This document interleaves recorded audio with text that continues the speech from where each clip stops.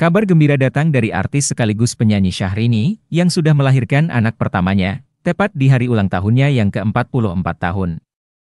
Hal tersebut diketahui dari unggahan Instagram Story milik Syahrini.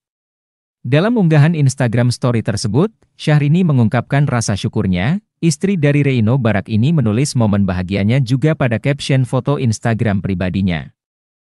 Dalam foto maternity bersama Reino Barak tersebut, ia mengungkapkan kebahagiaannya yang telah melahirkan anak pertama, tepat di hari ulang tahunnya.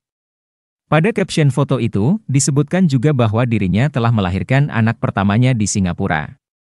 Penantian yang cukup lama untuk mendapatkan buah hati, kini berhasil lalui, dan memilikinya di momen ulang tahunnya. Unggahan tersebut kini sudah dibanjiri ucapan selamat dan doa dari rekan artis.